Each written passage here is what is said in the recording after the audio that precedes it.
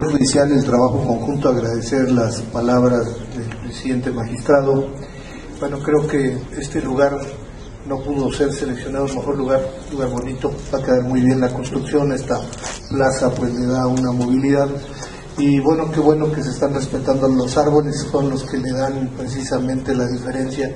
Imagínense esto sin árboles y eso es una cosa totalmente diferente con los años que tienen pues va a ser un lugar agradable para impartir justicia. Y bueno, estar en, me da gusto escuchar además que vamos en calendario, que vamos en, agenda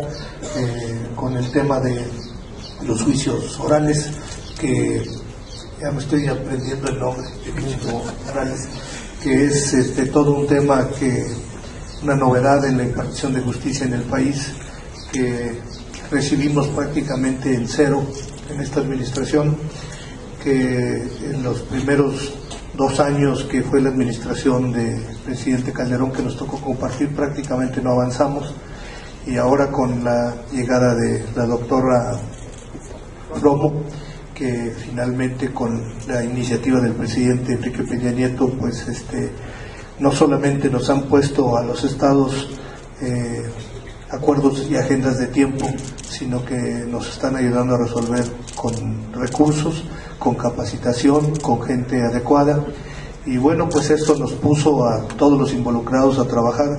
y aquí se ve lo que estamos haciendo en forma conjunta. Agradecerle a la presidencia municipal que también nos ayudó en su disposición porque para no hubiéramos podido trabajar aquí en este espacio si no hubiéramos, no nos hubiéramos movido a otras oficinas y que gracias aquí a la voluntad de Fernando pues este ahorita a lo mejor no en los lugares más adecuados pero se está haciendo el trabajo y muy pronto estaremos